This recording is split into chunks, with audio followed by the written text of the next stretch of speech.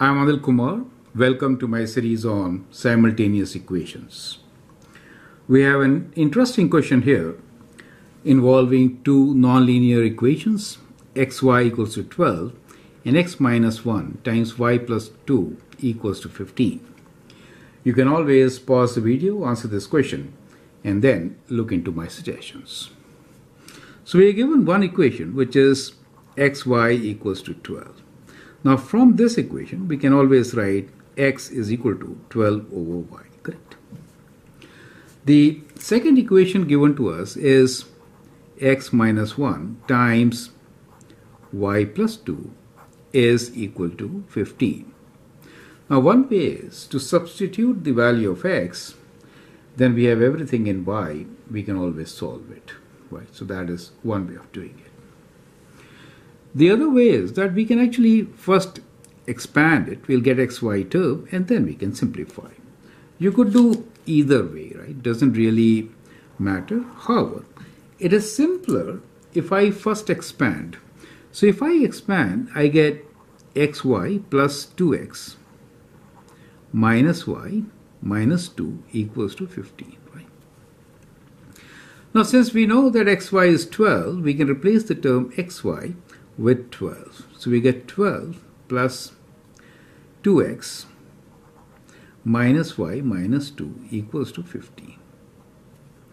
Now taking the constants to the other side, we can write this as 2x minus y equals to 15 minus 12 plus 2 so what we get here is 2x minus y equals to 5. 15 minus 2 is 3, 3 plus 2 is 5.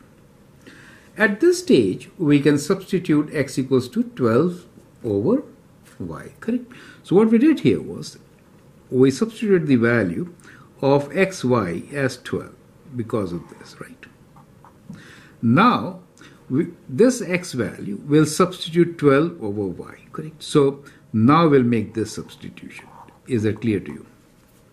So, so we can write this as 2. Instead of x, I'm writing 12 over y minus y equals to 5. Multiplying by y, we get our quadratic equation which is 24 minus y squared equals to 5y. Is that clear to you? So we have a quadratic equation to solve now. Let's bring all the terms together and solve this quadratic equation. So we can write this as y squared plus 5y and uh, minus 24 equals to 0. Taking all these terms to the right side. So y squared becomes positive minus 24. 8 times 3 is 24. So we could write this as y plus 8 since we have plus 5 here and y minus 3 equals to 0. So that gives us two solutions. One is y equals to minus 8. The other one is y equals to 3. Now for these solutions of the value of y, we can actually find the value of x. So, so we get the value of x. If I substitute y equals to minus 8, x is equals to 12 over minus 8, which is dividing by 4 we get minus 3 over 2 or you can write minus 1.5.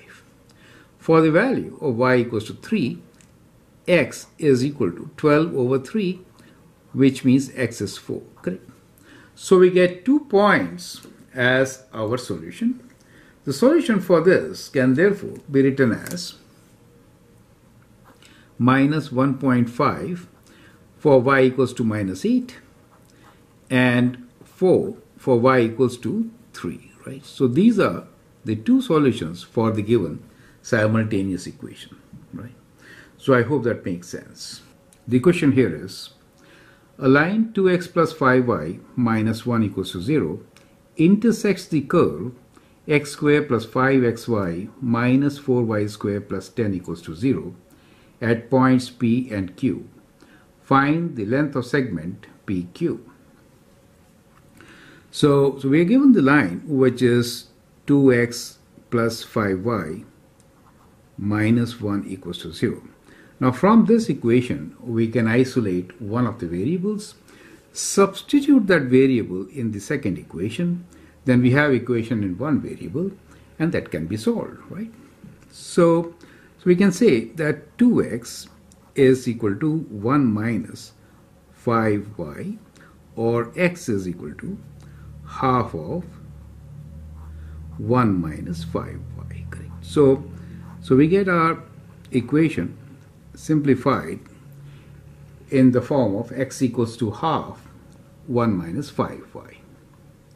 The other equation given to us is x squared plus 5xy. Let's write it down here. We have x squared plus 5xy minus 4y squared plus 10 equals to 0.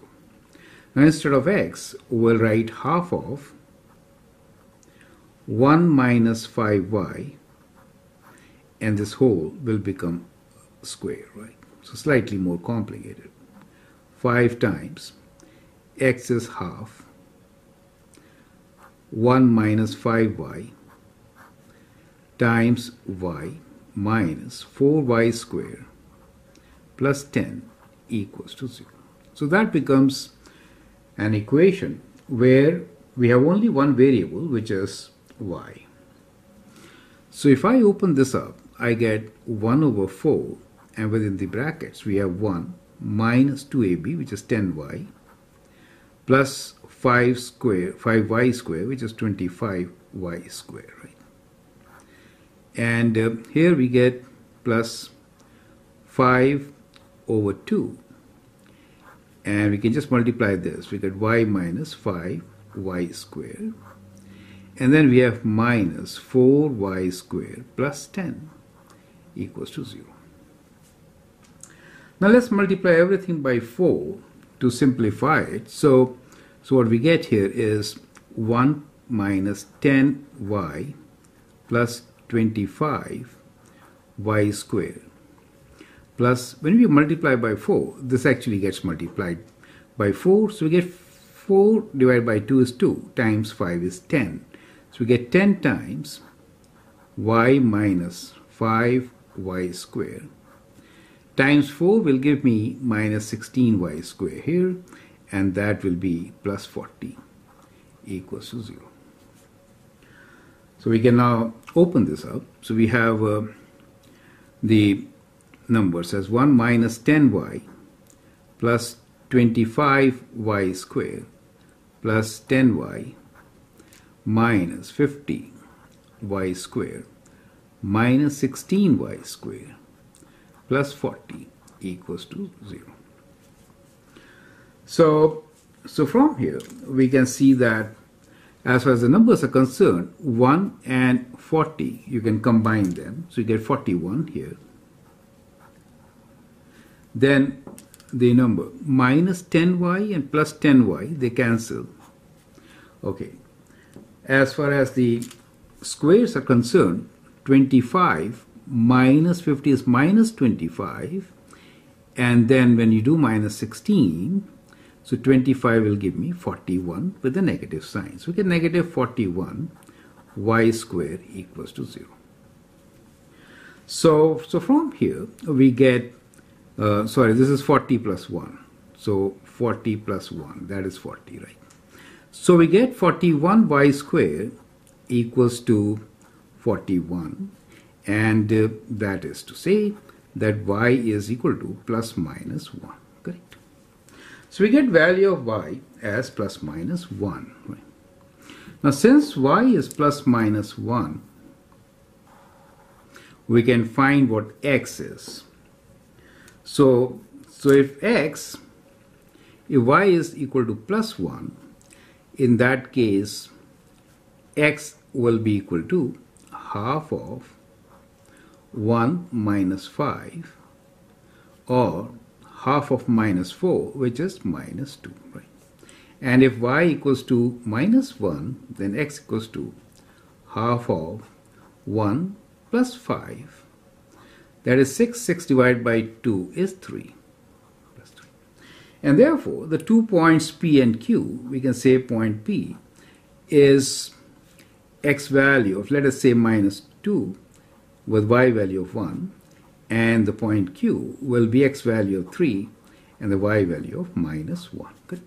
So that becomes the coordinate points for x and y.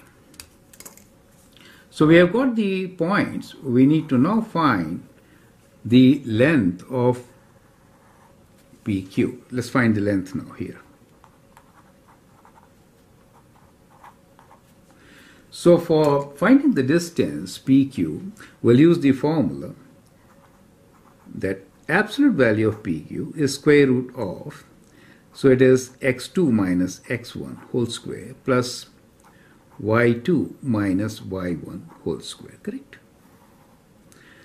Now in our case, in our case, it is 3 minus 2, let's do, that is 3 plus 2, right, whole square, plus minus 1 minus 1, which becomes minus 2, right, minus 1 minus 1 whole square. So that gives you square root of 5 square, which is 25, plus 2 square, which is, which is 4.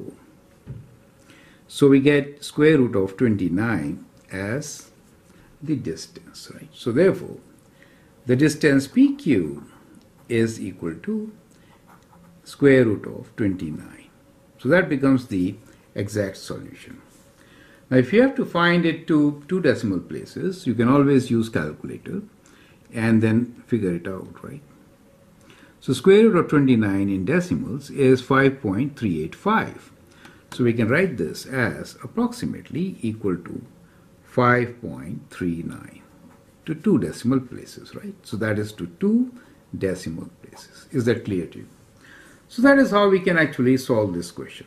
It does involve a lot of calculations. However, uh, the system of equation which is linear versus non-linear involves such calculations. I hope it makes sense. Feel free to write your comment, share your views, and if you like and subscribe to my videos, that'd be great. Thanks for your time and all the best.